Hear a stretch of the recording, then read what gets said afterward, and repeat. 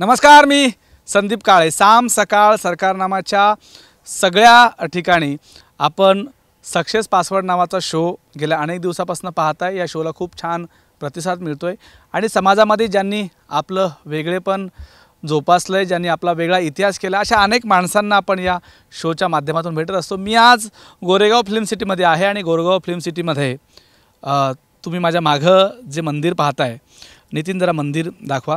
हे मंदिर म्हणजे तुम्ही नास्तिकमध्ये अमिताभ बच्चन त्या मंदिराच्या बाहेर येऊन म्हणतो की तू भगवान आहेस तर मी आज तुझ्याकडे काहीतरी मागायला आलो आहे असतील तर उठ जागा हो. यासह अनेक चित्रपटामध्ये आपण या या मंदिराला पाहिलेलं आहे. या गोरेगाव फिल्म सिटीच्या आजू आसपास असणाऱ्या सगळ्या वेगवेगळ्या कलाकृती मी अनुभवल्यात. सगळं जग अनुभवत आहे आणि याच गोरेगाव फिल्म इंडस्ट्रीच्या अनुषंगाने असणाऱ्या एका मोठ्या व्यक्तीला आज आपण भेटणार आहोत. नरेशजी नरेश राहुरीकरजी आपलं मनापासून स्वागत आहे या इंटरव्ह्यूमध्ये. नरेशजी यांनी शंभरपेक्षा अधिक चित्रपट दोनशेपेक्षा अधिक सिरियल केलेले आहेत. ते त्या त्या सिरियलमध्ये त्या पिक्चरमध्ये त्यांनी डिझायनिंगचं उत्तम काम केलेलं आहे. ते कुठं बनली पाहिजे त्याचं स्वरूप काय असलं पाहिजे त्याला कुठल्या गोष्टीचा त्याच्यामध्ये अवलंब केला पाहिजे अशा अनेक गोष्टीचा संबंध त्यांच्याशी आलेला आहे. मराठवाड्यातल्या मातीतल्या आहेत ते औरंगाबादशी संबंधित आहेत जिंतूरला परभणीला त्याचं शिक्षण झालेलं आहे. आणि विशेषतः मराठवाड्यातल्या माणसांविषयी त्यांना कळवलं आहे. मी मराठवाड्यातला आहे म्हणून असं नाही पण इथं इंडस्ट्रीमध्ये फिल्म इंडस्ट्रीमध्ये टेलिव्हिजन इंडस्ट्रीमध्ये एक वेगळं नाव एक वेगळा इतिहास नरेंद्र यांनी केला आहे. आणि खूप छान पद्धतीनं त्यांचं काम सुरू आहे. आज त्यांच्याकडनं आपल्याला जाणून घ्यायचं आहे त्यांचं सक्सेस पासवर्ड. त्यांनी कसं केलं काय केलं कशा पद्धतीने केलं. आणि जिंतूर परभणी औरंगाबाद आणि आत्ता मुंबईतला त्यांचा सगळा प्रवास आपल्याला या शोच्या माध्यमातून जाणून घ्यायचं आहे. सर आपलं या शोमध्ये मनापासून स्वागत आहे. सर मी तुमच्या जर्नीची मला सगळी सुरुवात करायची आहे. पार्श्वभूमी मला जाणून घ्यायची आहे. विशेषतः तुमचे वडील बँकिंग बँकेमध्ये होते आणि मग तुम्ही त्यांची बदली जशी होईल तसं तुम्ही त्या शाळेमध्ये जायचं ते कल्चरल तुम्ही शिकायचं. कसे ते दिवस होते? काय ते अनुभव होते? ॲक्च्युली मी वडील स्टेट बँक ऑफ इंडियामध्ये मॅनेजर असल्यामुळे दरवर्षी मला नवीन गाव नवीन शाळा असं बघायला मिळालं. माझं सुरुवातीचं शिक्षण विदर्भामध्ये झालेलं आहे आणि त्याच्यानंतर आम्ही मराठवाड्याशी जॉईन झालो. जिंतूरपासून माझं शालेय शिक्षण सुरू झालं. जिंतूरनंतर मी परभणीला आलो.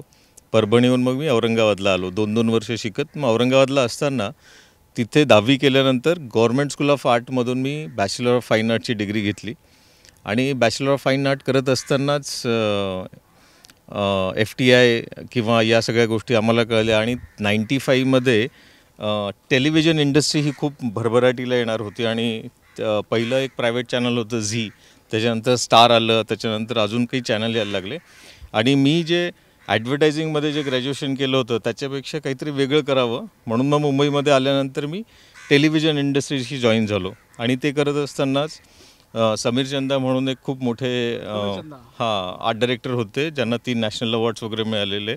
त्यांच्याबरोबर मला काम करण्याची संधी मिळाली. आणि त्यांच्याबरोबर मी असिस्टंट म्हणून काम केलं. आणि टू थाउजंडमध्ये मी स्वतः इंडिपेंडेंटली काम करायला सुरुवात केली ॲज अ प्रोडक्शन डिझायनर तेव्हा त्याला आर्ट डायरेक्टर असं म्हणायचे. संगीत शिवन म्हणून मोठे डिरेक्टर आहे. त्यांच्याबरोबर जोर म्हणून एक पिक्चर आहे. सनी हां सनी देवल सुष्मिता सेन.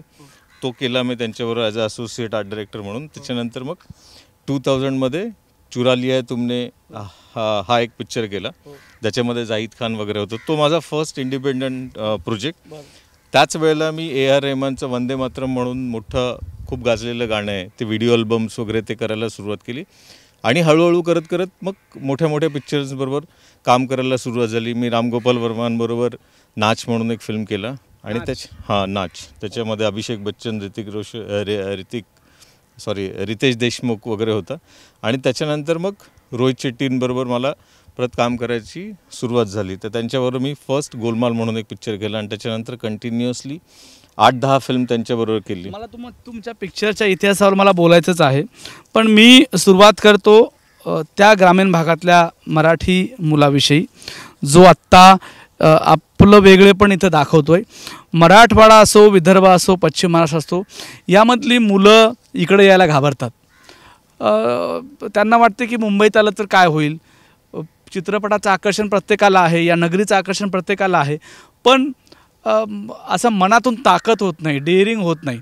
तर तुमचा तिथपासून ते इथपर्यंतचा प्रवास कसा इजी होता किंवा तुम्ही त्याला इजी कसा बनवला? सगळं काही आनंदाने करत करत ॲक्च्युली इथे येण्याचं मुंबईमध्ये लोकांना येण्याची भीती जी आहे जो जो न्यूनगंड आहे तो बेसिकली याच्यासाठी की आपली जी शिक्षण पद्धती आहे ती मोस्टली मराठी मीडियममध्ये आहे. आणि स्टँडर्ड ऑफ एज्युकेशन थोडं लो असल्यामुळे आपलं सराउंडिंग लो असल्यामुळे इथे येताना लोकांना एकदमच मोठ्या क्षेत्रामध्ये आल्यासारखं वाटतं. आणि त्या त्यामुळे तो न्यूनगंड जाण्यासाठी आपल्याला वेगवेगळ्या ॲक्टिव्हिटीमध्ये भाग घ्यायला पाहिजे. आणि वेगवेगळ्या ॲक्टिव्हिटीमध्ये भाग घेताना त्यात लोकल शाळेंनी किंवा लोकल आता तर बरंचसं सुधारलेलं आहे. आम्ही वीस वर्षापूर्वी पंचवीस वर्षापूर्वीची गोष्ट सांगतोय.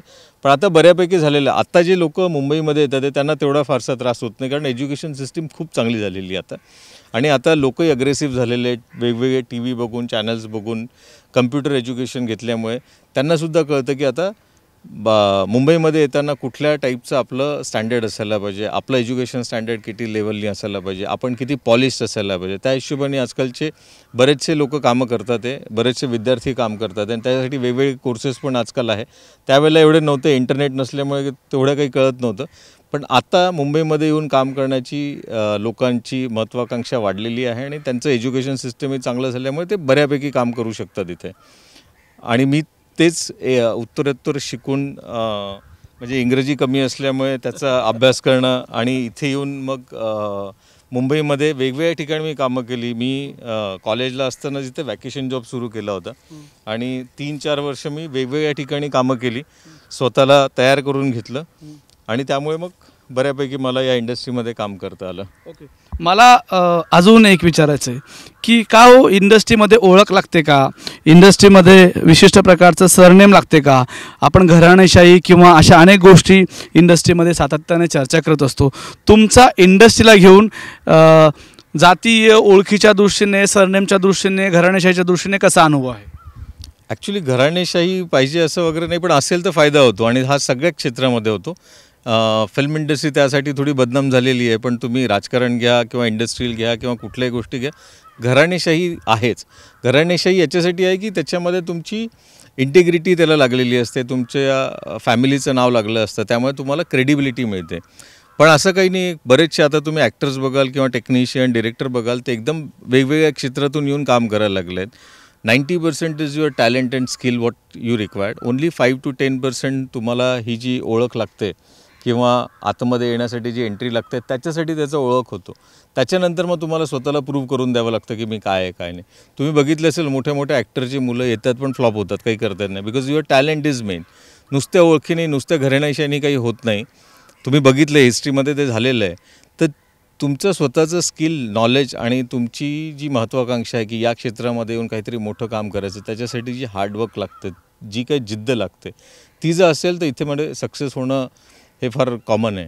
आणि तुम्ही बघितलं असेल की बरेचसे लोक फार वेगवेगळ्या क्षेत्रातून येऊन सक्सेस होतात because of their skills and knowledge मला या विषयाकडे यायचं आहे बदल या विषयावर मला तुम्हाला विचारायचं आहे. पण मला तुम्ही केलेल्या चित्रपटाची तुम्ही केलेल्या काही प्रमुख मालिकांची नावं ऐकायला निश्चित आहे आवडेल. मी सगळ्यात मोठा एक्सपेन्सिव्ह फिल्म ब्ल्यू म्हणून एक केला होता. ज्याच्यामध्ये सगळ्यात वेगळ्या प प्रकाराचं काम मला करता आलं होतं. I am the first production designer ज्यांनी अंडर वॉटर सेट्स लावलेला. त्याच्यामध्ये शार्कबरोबर शूटिंग आहे.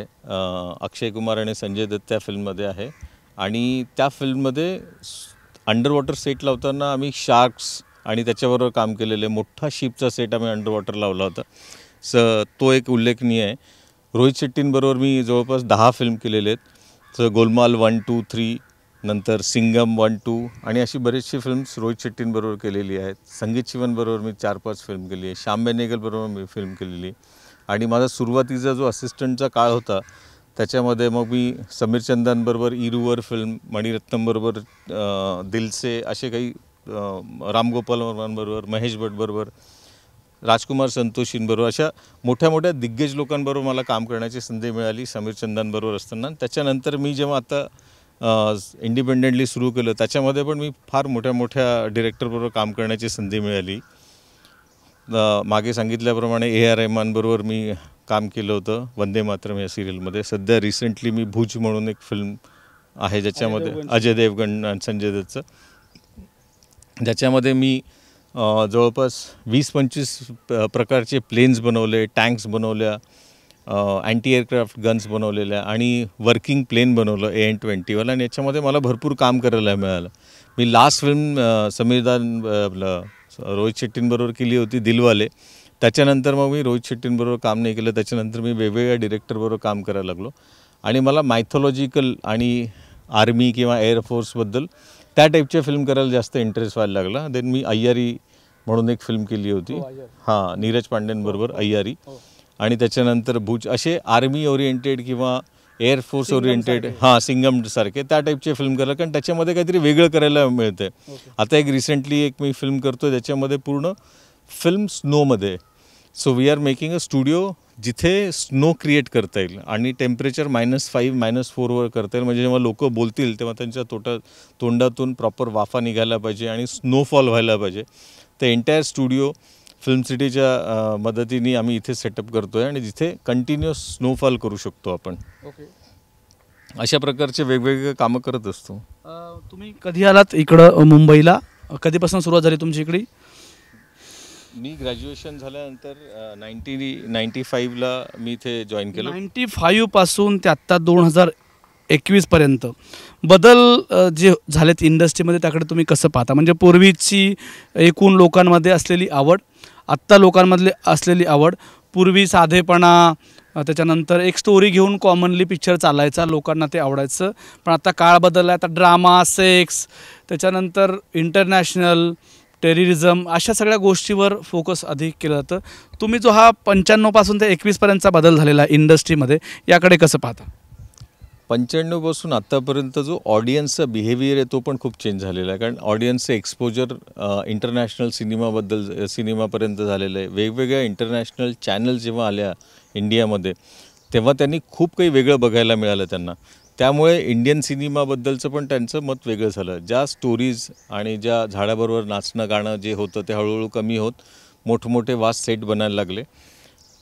फार प्रॅक्टिकल सब्जेक्ट्स यायला लागले. आधी एकदम टिपिकल सब्जेक्ट असायचे पण आता खूप प्रॅक्टिकल सब्जेक्ट्स किंवा करंट टॉपिक्स किंवा पॉलिटिकल टॉपिक्स किंवा मायथॉलॉजिकल टॉपिक्स हिस्टॉरिकल लोकांना जे बघितलं नाही आहे ते त्यांना दाखवायचं होतं. कारण इंटरनॅशनल फिल्म्स आल्यामुळे आणि हे तेलुगू फिल्म तमिळ फिल्म या डब घेऊन हिंदीमध्ये यायला लागल्यामुळे ऑडियन्सचं एक्सपोजर खूप वाढलं होतं. आणि ऑडियन्सची डिमांड पण वेगवेगळ्या वाढायला लागल्या की त्यांना काहीतरी बघायचं जे इंटरनॅशनल स्टँडर्ड्स असेल. त्यामुळे फिल्मचे सब्जेक्ट चेंज व्हायला लागले.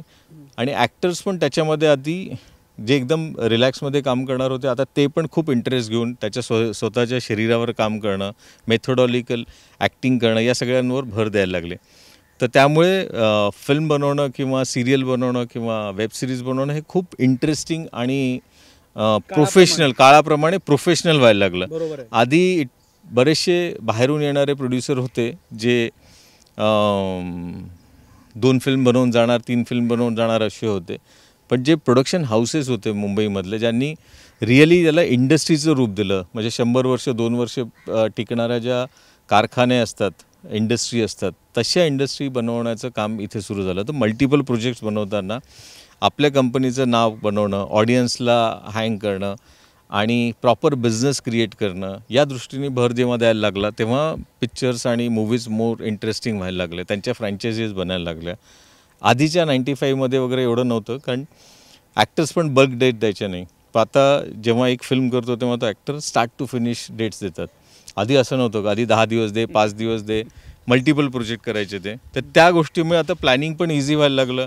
Because of the internet and computers and all that scheduling easy झालं. कम्प्युटर ग्राफिक्स खूप ॲड ऑन झाल्यामुळे we can also think vast we can also build big sets without creating actual sets ज्याच्यामध्ये आम्ही digital sets वगैरे टाकून त्याची costing पण कमी करू शकतो. या वेगवेगळ्या टेक्नॉलॉजी आल्यामुळे खूप वास्ट चेंज झालेले आहेत. आणि त्या वीस वर्षाच्या काळामध्ये you can see on the screen बरेचसे चेंजेस झालेले because of the international exposure and Bollywood also want to make the super international standard film कारण इंटरनॅशनल ऑडियन्स पण आपली वाढलेली आहे. इंडियन फिल्म्स आता बाहेरच्या देशामध्ये डब करून पण चालायला लागलेली आहे. त्यामुळे आधी जे यू पी बिहार जी आमची टेरिटरी होती ती आता वर्ल्ड वाईड व्हायला लागलेली आहे. त्यामुळे the standard of making of the films is also increase okay मी आत्ता तुम्हाला पंच्याण्णव ते एकवीसपर्यंतचा सगळा प्रवास तुम्हाला विचारला तुम्ही सांगितला. आत्ता मी जेव्हा एकवीसपासून ते चाळीसपर्यंतचा प्रवासाकडे जाईल तेव्हा ही इंडस्ट्री कशी राहील तेव्हा त्यामध्ये कसे बदल होतील हे मी तुम्हाला यासाठी विचारतो मुद्दाम की बदल जे आहेत ते सातत्याने होत आहेत इंडस्ट्रीमध्ये आता ओ टी टी आपल्याकडं इतकं जोरात येतो की आपल्याला कोविडच्या काळात गरज वाटली नाही की थिएटरमध्ये जाऊन पिक्चर पाहायची काही गरज आहे. आपण थे मोठा पडदा घरी लावला आपण पिक्चर पाहतो अशी अवस्था आहे. तर तुम्हाला पुढच्या वीस वर्षामध्ये इंडस्ट्रीमध्ये कुठले बदल प्रामुख्याने होतील असं वाटतं आहे इंडस्ट्रीमध्ये खूप चांगल्या प्रकारचे बदल होणार आहेत कारण Indian government is more keen to give lot of facilities film city म्हणा किंवा महाराष्ट्र गव्हर्नमेंट म्हणा या लोक यांनी खूप चांगल्या चांगल्या फॅसिलिटीज द्यायला सुरुवात केलेली आहे. इंडस्ट्रीचं स्टेटस द्यायला सुरुवात केलेली आहे. तर त्यामुळे जे इन्फ्रास्ट्रक्चर लागणार होतं ते सगळं प्रोव्हाइड करायला सुरुवात झालेली आहे. तर येत्या चाळीस वर्षामध्ये we can see a lot of big sets coming in and lot of different different industries coming in the India त्याच्यामुळे लोकांचे जे स्टँडर्ड आहे ते वाढेल. There are lot of film institutes आलेले आहेत. आधी एफ टी आय ही एकच इन्स्टिट्यूट महाराष्ट्रामध्ये होती पण आता मल्टिपल इन्स्टिट्यूट्स झालं आहे तर त्यामुळे जेवढे काही uh, फिल्म मेकिंगमध्ये येणारी लोक आहेत ते well trained well learn well educated असल्यामुळे द स्टँडर्डसुद्धा वाढेल. आणि दिस इंडस्ट्री इज वास्ट त्याच्यामध्ये म्हणजे एक पंधरा ते वीस लाख लोक काम करतात आणि त्यांची जी रोजंदारी आहे किंवा त्यांचा जो करिअर पाथ आहे तो बघण्यासाठी गव्हर्नमेंटनी पण आता याच्यामध्ये बरीचशी फॅसिलिटी द्यायला सुरुवात केलेली मास मीडिया मास कम्युनिकेशन आणि चॅनल्स वगैरे जे काही पद्धतीने कामं करतात हे त्याच्यामुळे हा फिल्म मेकिंग किंवा टेलिव्हिजन किंवा ओ टी टी हा खूप मोठा बिझनेस आणि खूप काय म्हणतात त्याला प्रोव्होकेटिव्ह करिअर असणार आहे. आणि येस याच्यामध्ये जी काही पेमेंट मिळणं किंवा करिअर मिळणं त्याच्यामध्ये पण नवीन विद्यार्थ्यांना जे काही मिळणार आहे ओन्ली इंजिनियर होणं डॉक्टर होणं किंवा काही होणं याच्यापेक्षा काही वेगळं ज्याच्यामध्ये क्रिएटिव्हली सॅटिस्फॅक्शन मिळेल असं सुद्धा करायला मिळणार आहे. मला अजून एक प्रश्न आता तुम्हाला मला ऑफबीट खरं तर प्रश्न विचारते माझ्या कार्यक्रमाचं नाव सक्सेस पासवर्ड आहे. तुम्हाला सक्सेस कसं मिळालं किंवा किंबहुना ते सक्सेस तुमचं कसं कोणाकोणाच्या भोवती होतं हे मला तुम्हाला विचारायला नच निश्चित आवडेल. जेव्हा तुमची आई तुमचे वडील आता तुमच्या या सगळ्या प्रवासाकडे पाहतात जिंतूरमधले नरेंद्र आणि आता मुंबईमधले नरेंद्र या प्रवासाकडे जेव्हा पाहतात तेव्हा काय त्यांच्या भावना असतात कसं त्यांना वाटतं काय तुमच्याशी ते बोलतात? ॲक्च्युली मी आर्ट्स आर्टमध्ये येण्याचं एक मेन कारण होतं की माझी आई खूप चांगलं एम्ब्रॉयडरी करायची आणि ती म्हणजे? म्हणजे हँड एम्ब्रॉयडरी असते ना ती. नाही नाही गोधडी नाही. म्हणजे डेकोरेटिव्ह पीस वगैरे करतात ना ते करायचे. She is a homeopathy doctor आणि सोशल वर्कर पण होती पण त्याच्यावर ती खूप चांगलं ड्रॉइंग करायची खूप चांगलं विणकाम करायची काही ना काही त्यामुळे मला ती चित्रकलेची आणि ड्रॉइंगची ओळख झालेली आहे. तर आणि ते करत करत असताना मग मी ड्रॉइंगमध्ये थोडं पुढे करिअर करत करत आर्ट स्कूलमध्ये आल्यानंतर हे. नव्हतं वाटत की फिल्म इंडस्ट्रीमध्ये जाईल की नाही. बट फिल्म इंडस्ट्री जेव्हा खूप फुफावत होती आणि चॅनल्स खूप वाढत होते तेव्हा मला असं वाटलं की हे करिअर करणं बेटर असेल. कारण याच्यामध्ये थोडं पैसे मिळणं किंवा फेम मिळणं हे चांगलं होतं. Though no doubt the success ratio is very less here because you need a lot of hard work here तर ती हार्डवर्क करण्याची तयारी असल्यामुळे आणि ती मी केली असल्यामुळे मी आज इथपर्यंत आलो आहे नाही पण जेव्हा या सगळ्या विषयाची चर्चा होते जिंतूर परभणी औरंगाबाद आता मुंबई तेव्हा आईवडील घरा घरी काय बोलतात पाहुणे काय बोलतात तुमचे पुरस्कार समारंभ कार्यक्रम अनेक ठिकाणी तुम्ही त्यांना इन्व्हाइट करता तेव्हा काय बोलणं होते घरी आईवडिलाबरोबर? नाही ऑफकोर्स छोट्या गावामध्ये येऊन मुंबईमध्ये एवढं काम करणं याच्यासाठी त्यांना साहजिकच अभिमान आहे. पण त्याच्यासाठी ज्या ज्या लोकांनी कष्ट घेतलेत माझे टीचर्स म्हणा ड्रॉइंग टीचर्स म्हणा कॉलेजचे शिक्षक म्हणा ज्यांनी नेहमी मला प्रोत्साहन देत गेले. आईवडिलांनी पण नेहमी प्रोत्साहन दिलं की ठीक आहे तुला फिल्म इंडस्ट्रीमध्ये काम करायचं ते असेल तर करा. पण नॉर्मली फिल्म इंडस्ट्रीमध्ये मुलगा जातो म्हटल्यानंतर फार वेगळ्या प्रकारचे प्रतिसाद गावात उ- उठतात. पण माझ्याकडे होतं की most of the people were very supporting to me त्यामुळे मग मला इथपर्यंत येताना ज्यांनी ज्यांनी मला प्रोत्साहन दिलं त्याच्यामुळे मी इथपर्यंत येऊ शकलो. त्याच्याबद्दल मी नेहमी सगळ्यांना धन्यवाद आणि आभार मानत असतो. आणि त्यांचे जे आशीर्वाद आहे त्याच्यामुळे इथपर्यंत येऊ शकलो मी. कलेचं शिक्षण घेताना औरंगाबादमधलं ते सगळं वातावरण कसं होतं? त्यावेळेसचे तुमचे मित्र कुणीकडे तुमच्या मित्राचा कल होता? जेमतेम पैसा जेमतेम घरची सगळी परिस्थिती असं असतानाही छंदांना फारसं त्या काळामध्ये महत्त्व दिलं जायचं नाही हे खरं होतं. कसं होतं तुमचं त्यावेळेचं वातावरण आणि एकूण परिस्थिती? ॲक्च्युली मी गव्हर्मेंट स्कूल ऑफ आर्टमध्ये असताना थँकफुली माझी घरी घरची परिस्थिती बऱ्यापैकी होती. वडील ब्रँच मॅनेजर होते त्यामुळे तो प्रश्न होता. पण माझ्या सराउंडिंगमधले जेवढे काही मित्र होते त्यांचा मराठवाड्यातून वेगवेगळ्या क्षेत्रातून आल्यामुळे थोडी परिस्थिती बेताचीच होती. आणि तेव्हा करिअर ऑप्शन्स काय हे कोणालाच माहीत नव्हतं. फक्त ॲडव्हर्टायझिंग करणं किंवा स्क्रीन पेंटिंग करणं किंवा आर्ट टीचर्स होणं या टाईपचेच करिअर त्यांना माहिती होते. मी जेव्हा मुंबईमध्ये येऊन याची वॅकेशन जॉब वगैरे करायला लागलो तेव्हा मला हे सगळे वेगवेगळे करिअर कळले. आणि तेव्हा मला कळलं की याच्यामध्ये भरपूर स्कोप आहे. जेव्हा तुम्ही काहीतरी वेगळं कराल आणि ते वेगळं करण्याची जी जिद्द होती त्या जिद्दीमुळे मग मी इथपर्यंत यायला लागलो. पण अजूनही माझे जे काही जुने मित्र वगैरे होते कॉलेजचे म्हणा किंवा स्कूलचे म्हणा ते त्याच ठिकाणी राहून ॲडव्हर्टायझिंग किंवा जे जे काही छोट्या मोठ्या जेवढे काही करिअर त्यांना माहीत होते त्याच्यामध्येच त्यांनी बऱ्यापैकी कामं केलेली आहेत. ओके मी औरंगाबादमध्ये परत जातो. औरंगाबादमध्ये त्यावेळेस ही मानसिकता होती का की आपण चित्रपटा चित्रपटाच्या अनुषंगाने करिअरसाठी प्राधान्य दिलं पाहिजे आणि करिअर केलं पाहिजे? नाही एवढी नव्हती पण त्यावेळेला आम्ही कॉलेजला असताना तिथले बरेचसे जे लोक होते दोन तीन डिरेक्टर्स आहेत जे महा मराठवाड्याचे होते आणि त्यांनी मराठी चित्रपटामध्ये काम करण्याचा प्रयत्न केला होता. तर तो एक आमच्याबरोबर होता की चला मराठवाड्यातले लोक पण बाहेर जाऊन काहीतरी करू शकतात. आणि त्या अनुषंगाने मग आम्ही पण मुंबईला येऊन काम करण्याचा प्रयत्न केला. ओके. मी आता तुमच्या रोजच्या कामाकडे येतो. काय नेमकं रोजचं कामाचं स्वरूप असतं? तुम्हाला सेटवर काय करावं लागतं? आणि आत्ता अलीकडच्या काळामध्ये या सगळ्या कामाला करिअर म्हणून मुलं कसं पाहतात या कामाकडे? ॲक्च्युली माझं जे प्रोडक्शन डिझायनिंगचं काम आहे त्या कामामध्ये असं होतं की एखाद्या फिल्मचा पूर्ण लुक अँड फील आम्हाला डिझाईन करायचा असतो. आणि जेव्हा तुम्ही लुक अँड फील डिझाईन करता तेव्हा त्याचं बॅकग्राऊंड काय असेल त्याचं सेट काय असेल एखादा ॲक्टर असेल तर त्याच्या प्रोफेशनच्या हिशोबाने त्याचं घर कसं असेल तो कुठल्या गावात राहत असेल तर अशा वेगवेगळ्या गोष्टी असतात. ॲज पर द स्क्रिप्ट मग आम्ही डिसाईड करतो की हा एक कॅरेक्टर कुठे ठेवायचं त्याची कलर स्कीम काय असायला पाहिजे त्याचं घर कसं असायला पाहिजे. म्हणजे तुम्ही एखाद्या घराचं इंटिरियर करतात. तसंच आम्ही त्या पूर्ण फिल्मचं डिझाईन करतो. आणि हे एवढं इंटरेस्टिंग असल्यामुळे आजकालचे जे विद्यार्थी आहे ज्यांनी आर्किटेक्ट केलं आहे इंटिरियर डिझायनिंग केलेलं आहे ते या क्षेत्राकडे वेगळ्या पद्धतीने बघायला लागलेले आहे आणि of course this is a most fascinating career कारण याच्यामध्ये पे स्केल पण uh, बऱ्यापैकी मिळते आणि फेम पण लवकर मिळतो. तर त्यामुळे आजकालची जी नवीन जनरेशन आहे ती बऱ्यापैकी या करिअरकडे बघायला लागलेली आहे. पण असं हो- या या क्षेत्रामध्ये सुद्धा असं होते की आपण जे शिकलेलं आहे ते कालबाह्य होतंय आणि ते दुसरीकडे कुठंतरी जाते आता त्याला दिवस कमी झालेत अशी असं कधीतरी वाटायला लागतं मनामध्ये? ॲक्च्युली शिक्षणाचा तो थोडा प्रॉब्लेम आहे. कारण you have to keep on upgrading कारण टेक्नॉलॉजी एवढी चेंज होत चाललेली आहे आणि माध्यमं अशी वेगवेगळी चेंज व्हायला लागलेली आहे की तुम्हाला स्वतःला अपग्रेड करावं लागतं. जे तुम्ही दहा वर्षापूर्वी किंवा पाच वर्षापूर्वी शिकला होतात ते तुम्हाला आता कामास येत नाही तर त्यामुळे स्टुडंट्सला आणि सगळ्यांनाच स्वतःला अपग्रेड व्हावं व्हावं लागतं. म्हणजे आता आज जो कॅमेरा आहे हा मी वीस वर्षापूर्वी इंटरव्ह्यू दिलेला हा यांच्या एवढा होता. आज एवढूसा झालेला आहे. So technology is also changing everything is changing so for that knowledge also we have to keep on getting and keep on changing on that अच्छा. तुमचे मुलं तुमच्या एकूण सगळ्या प्रवासाला घेऊन काय म्हणतात? घरी काय चर्चा होते मुलांसोबत? त्यालाही तुम त्यांनाही तुमच्यासारखं करिअर करायचं आहे? सध्या तरी ते लहान आहेत. म्हणजे माझा एक मुलगा अकरावीला आहे आणि एक सातवीला आहे. त्यामुळे दे आर नॉट व्हेरी कीन की या क्षेत्रामध्ये जायचं की नाही.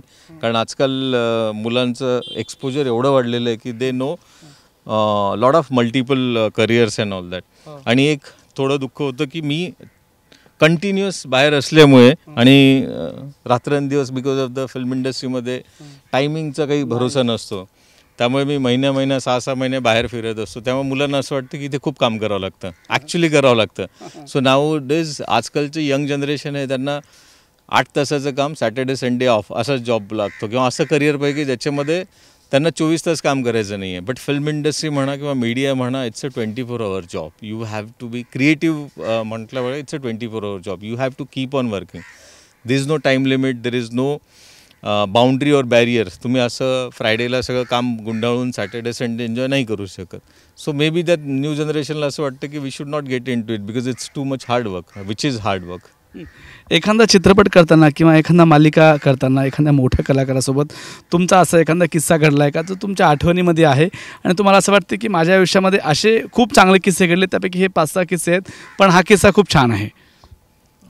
असे बरेचसे किस्से आहेत. आणि त्यातल्या त्यात मी जेव्हा ब्ल्यू फिल्म करत होतो तेव्हा अक्षय कुमार आणि संजय दत्तबर अंडर वॉटर जात असताना पूर्ण ते स्कुबा डायव्हिंगचं गिअर वगैरे घालून पाण्याखाली जाणं आणि त्यांच्याबरोबर पूर्ण सीन करणं. तर ॲक्शन करत असताना एकदा अक्षय कुमारला मध्ये ॲक्शन करत असताना डोक्याला थोडंसं लागलं आणि ते ब्लड आलं. आणि ब्लड आल्यानंतर सडनली शार्क येतात तिथे. So the blood should not come and we are shooting below thirty metres under water तो तो जो सीन होता त्याच्यामध्ये थोडंसं आग लागलं आणि because we are only two Indians which was working under water मग त्यांना कवर करणं त्या शार्कला कसं हे ॲडजस्ट करणं अशा बऱ्याचशा गोष्टी आहेत. आणि जास्तीत जास्त एक्सपिरियन्स मला अजय सरांबरोबर आलेला आहे. कारण त्यांच्याबरोबर मी मॅक्झिमम फिल्म केली गोलमाल केली सिंगम वगैरे केलं. तर त्याच्यामध्ये एक किस्सा असा आहे की आम्ही एक सिंगम टूमध्ये ॲक्शन सिक्वेन्स डिझाईन केला होता जो मुंबई वरली सी लिंकवर होतो. पण जेव्हा पूर्ण ॲक्शन सिक्वेन्स डिझाईन झालं सगळं काही झालं तेव्हा त्यांनी परमिशनच दिली नाही ब्रिजवर शूट करायची. मग आम्ही तर डिझाईन करून ठेवलेलं की एवढा मोठा ॲक्शन सिक्वेन्स तिथे घ्यायचा. आणि रोहित वॉज व्हेरी किन की नाही नाही मला तर मग तू जसा डिझाईन केलेला आहे तसं तिथेच करायचं आहे. मग तेव्हा I think home minister R R Patil sir होते त्यांना जाऊन भेटलो सगळं काही केलं. पण तरीसुद्धा आम्हाला त्याच्यावर परमिशन नाही. मिळाली. सो डिजिटली आणि छोटे छोटे सेट्स लावून तो आम्ही एवढा क्लेवरली बनवला तो ॲक्शन सिक्वेन्स की असं वाटतं की आम्ही ॲक्च्युअल त्याच्यावर शूट केलेलं पण आम्ही त्याच्यावर एक दिवस पण शूट करू शकलो नाही. And it was not allowed at all so these are some memories that make me that experience is taking me way ahead to do more challenging work and all that अच्छा तुम्ही या सक्सेसकडं जेव्हा मागे वळून पाहता या वीस वर्षाच्या कालावधीमध्ये दोन हजार पंधरापासून ते सॉरी पंच्याण्णवपासून ते आत्तापर्यंतचा हा सगळा प्रवास तुमचा जो इतका मोठा आहे जो इतका इतक्या लोकांना रोजगार देणारा आहे इतक्या लोकांच्या भोवती फिरणार आहे त्या सगळ्या प्रवासाकडे किंवा त्या सगळ्या सक्सेसकडे जेव्हा तुम्ही पाहता तेव्हा तुम्हाला काय वाटतं की आपण कुठले पासवर्ड घेतलेले आहेत? कुठले सक्सेस पासवर्ड आपण घेतलेले आहेत? सक्सेस पासवर्ड म्हटलं तर की आय आय कॅन से की there is one which I personally love is fake it to till you make it म्हणजे तुम्ही सक्सेस अनुभवायला पाहिजे. जर तुम्हाला एखादा मोठा आर्किटेक्ट बनायचं किंवा मोठा प्रोडक्शन डिझायनर बनायचं असेल तर you have to behave like him त्यांनी जसं डिटेलिंगमध्ये काम केलं आहे त्यांनी जेवढं हार्डवर्किंग केलेलं आहे त्यांनी जेवढ्या डिटेलमध्ये कामं केलेले तसं तुम्हाला कंटिन्यू करत राहायला पाहिजे. दॅट्स वाय असे की मंत्र is like it fake it till you make it तुम्हाला ते करत राहायला पाहिजे. Hard work yes hard work and smart work is always there and then you have to keep on learning new things that is a मंत्र I can say की don't stop learning मी म्हणजे मी एम एफ ए केलं नंतर त्याच्यानंतर मी P H D करतो आणि हे सगळं मला लेट कळलं की तुम्ही शिक्षण थांबायला नको. त्यामुळे मला आता खूप लेट होतं आहे शिकायला but then also you should not stop learning you have to keep on learning कारण माध्यमं बदलतात आहे टेक्नॉलॉजी बदलते लोकांचे एक्सपेक्टेशन बदलतात आहे मार्केट बदलतं आहे अँड uh, जे ऑडियन्स आहेत किंवा जे uh, तुमचे क्लायंट आहेत कस्टमर आहेत त्यांचे एक्सपेक्टेशन वाढतात. आहे त्यांच्यामध्ये नवीन जनरेशन येतात त्यांचे एक्सपेक्टेशन वाढतात. So you should not stop learning you have to keep on learning to give best out of you एक गोष्ट मला अजून सर आपल्याला विचारायची ती खूप महत्त्वाची आहे. ते म्हणजे तुम्ही मराठवाड्यातून जेव्हा इकडे आला तेव्हा मराठवाड्यातले अनेक मुलं रोजगारासाठी तुम्ही मुंबईमध्ये आणलीत वेगवेगळ्या राज्यामध्ये पाठवली. तो अनुभव कसा होता होता? तुम्ही तुमच्या मातृभूमीला विसरले नाहीत.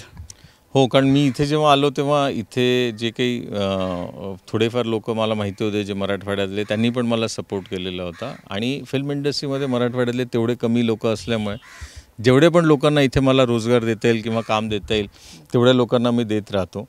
आणि मी अजूनही लोकांना सांगतो की जर ज्यांना ज्यांना कोणाला एक्सपेक्टेशन असेल इथे काम करायची they can meet me I can give you that आणि मी याच्यासाठी एक पुस्तक लिहितो आहे which is called three hundred careers in cinema three hundred three hundred careers in cinema sir त्याच्यामध्ये? ॲक्च्युली जर समजा लोकांना माहीत नाही आहे की काय म्हणतात त्याला फिल्म इंडस्ट्रीमध्ये टेलिव्हिजन टेलिव्हिजन इंडस्ट्रीमध्ये जाण्यासाठी काय करावं लागतं? त्यांना बेसिक दहा बाज करिअरच माहिती आहे पण आता समजा मी इंजिनियर आहे. मला इंजिनिअरिंग नाही सोडायची आहे पण मला फिल्म इंडस्ट्रीमध्ये काम करायचं आहे तर माझ्यासाठी काय काम असेल? मी डॉक्टर आहे. पण मला डॉक्टरीच येते. मला डॉक्टर पेशा नाही सोडायचं पण मला फिल्म इंडस्ट्रीमध्ये काम करायचं तर त्याच्यासाठी काय करिअर आहे? असे there are three hundred career where you have learn something तुम्ही तुमचं एज्युकेशन पूर्ण केलं आहे कुठल्याही क्षेत्रामध्ये.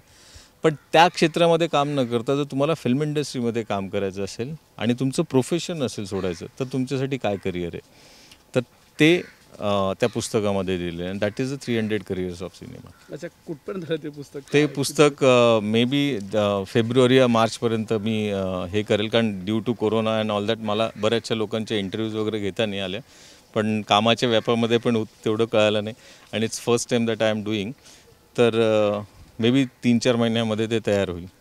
तुमच्या क्षेत्रामध्ये अनेक जण करिअर करू पाहत आहेत. खूप तरुण मुलांचा इकडं ओघ आहे.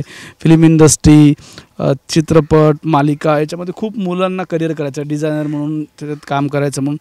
या मुलांना याच्यामध्ये सक्सेस मिळवायचं असेल तर कुठले तुमचे सक्सेस पासवर्ड असतील? तुम्ही काय सांगाल? सी तुम्हाला कुठलंही करिअर करत असताना त्या करिअरबद्दलचं जे एज्युकेशन आहे स्पेशलायझेशन आहे ते तुम्हाला करणं फार आवश्यक आहे. इथे येऊन शिकणार किंवा इथे येऊन कोणाला असिस्ट करून त्याच्यामध्ये शिकायला जो वेळ जाईल तो वेळ न घालवता यू जे काही करिअर करायचं असेल तुम्हाला ॲक्टिंग करायचं असेल डिरेक्शन करायचं असेल editing cameraman you should learn that specification त्याच्यामध्ये स्पेशलायझेशन करा आणि मग या करिअरमध्ये या. त्याच्यामुळे तुम्हाला सक्सेस हा फास्ट मिळेल. त्याच्यामध्ये तुम्हाला because your knowledge is so clean and nitty gritty on that because you have done the education in that particular subject जर तुम्ही ते कराल तर तुमचं uh, करिअर पाथ हा uh, फास्ट होईल. सक्सेस लवकर मिळेल. ओके uh, आता मी शेवटच्या प्रश्नाकडं तुमच्याकडे येतो. एक प्रश्न फॅमिलीचा घेतो आणि नंतर समारोपाकडे येतो. तुमच्या घरी मिसेस काय करतायत? मुलांना कुठल्या क- याच्यामध्ये आवड आहे? आणि एकूण सगळं घरचं वातावरण तुमच्या सगळ्या रोजच्या कामाला घेऊन कसं असतं? माझी मिसेस तिचं एक रिटेलचं बिझनेस आहे. तिची एक प्रायव्हेट लिमिटेड कंपनी आहे. ज्याच्यामध्ये ती काम करते. मोस्टली वर्क फ्रॉम होम आता असल्यामुळे त्या- त्याच्यामध्येच काम करते. माझा एक मुलगा सातवीमध्ये आणि एक अकरावीमध्ये ज्याला आय टी इंडस्ट्रीमध्ये काही करायचं आहे पण मी मॅक्झिमम टाईम शूटिंगमध्ये आणि याच्यामध्ये बिझी असल्यामुळे माझं फार कमी इंटरॅक्शन होतं त्यांच्याशी. पण आता मुलांची जी ओढ आहे एज्युकेशनमध्ये काहीतरी बाहेर जाऊन शिकायची. कारण तिथे education standard is much higher than India म्हणून त्यांचा ओढ आहे की अमेरिकेमध्ये किंवा कॅनडामध्ये जाऊन शिकायचं. आणि आय एम ऑल्सो सेईंग की इट्स फाईन हां जा कारण एक्सपोजर चांगलं आहे. कधी ना कधी तुम्हाला जाऊन शिकायचंच आहे. आणि त्या ते जे एज्युकेशन आहे ते जे काय असेल मग ते इंडियामध्ये येऊन त्याचा वापर करा. कारण इंडियाचं बिगेस्ट मार्केट नाव डेज जे काही बिझनेस करायचं असेल जे काही करायचं असेल त्याच्यामध्ये इंडियाचं most happening and growing country in the world and that is what they मी आता शेवटचा प्रश्न विचारतोय. तुम्ही जेव्हा तुमच्या सक्सेसकडं पाहता तेव्हा नेमके पासवर्ड तुमचे कुठले होते? कोण व्यक्ती होत्या ज्यांच्या माध्यमातून तुम्हाला सक्सेस मिळालं? आई वडील पत्नी हे तर आहेच. पण अशा कुठल्या आठवणीमधल्या व्यक्ती आहेत किंवा अनंत व्यक्ती असतील वॉट एव्हर तुमच्या सक्सेसचा पासवर्ड आयुष्याचा आत्तापर्यंतचा पंच्याण्णवपासून ते आत्तापर्यंतचा काय होता? सी गोल सेटिंग किंवा ड्रीम बघणं हा जो प्रकार आहे. जेव्हा कुठलं तुम्ही स्वप्न बघतात आणि तो साकारण्यासाठी तुम्हाला जी मेहनत करावी लागते ती तुम्ही करत राहावी. आणि याच्यासाठी मला जे काही टीचर्स वगैरेनी मदत केलेली आहे किंवा हे दिलेली आहे ते मी तर ऑलरेडी सांगितलं. बट एक पासवर्ड असं म्हणाल तर hard working and whatever goal you have set whatever dream you have seen you should work hard to make that true that is a password I can say sir आपलं मनापासून आभार. तुम्ही आम्हाला या कार्यक्रमासाठी वेळ दिलात. आणि मला खात्री आहे या कार्यक्रमाच्या निमित्ताने अनेक युवक तुमचा आदर्श घेऊन नवीन काहीतरी करिअर करण्याच्या दृष्टीने नक्की पाऊल उचलतील. तुम्हालाही हा कार्यक्रम मला असं वाटतं की नक्की आवडला असेल. गेल्या अनेक दिवसापासून अशा वेगवेगळ्या व्यक्तीं व्यक्तींना घेऊन आपण या शोमध्ये सहभागी होत असतो. आज आपण इथं आलो. गोरेगाव फिल्म इंडस्ट्रीमध्ये आणि इथल्या संबंधित असलेल्या व्यक्तीशी करिअरच्या अनुषंगाने त्यांच्या प्रवासाच्या अनुषंगाने चर्चा केली. मला खात्री आहे की तुम्हाला हा शो नक्की आवडला असेल. आज शनिवारी या शोच्या निमित्ताने मी इथं थांबतो. तुम्ही खूप छान पद्धतीनं प्रतिसाद देताय. सकाळ असेल साम असेल सरकारनामा असेल या सगळीकडं या शोच्या माध्यमातून खूप लोक मला फोन करतात. खूप लोक या शोला फॉलो करतात. त्या सगळ्यांचा मी मनापासून आभारी आहे. आणि मला माहीत आहे की इथं काहीतरी चांगलं सुरू आहे. आणि ते चांगलं म्हणजे काय? आज जे मान्यवर गेस्ट आपल्याकडे होते त्यांच्यासारखी अनेक माणसं वेगळं काहीतरी करू पाहत आहेत आणि तुम्हालाही काहीतरी वेगळं करायचं असेल काहीतरी आपल्या आयुष्याचा वेगळा इतिहास करायचा असेल तर तुम्ही या या मान्यवरांना नक्की फॉलो करा.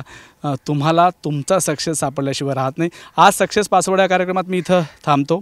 माझा सहकारी नितीन खरातसह दुसऱ्या शनिवारी एका अशाच वेगळ्या व्यक्तीसह मी तुमची भेट घडून देणार आहे. नितीन जरा इकडं कॅमेरा करा.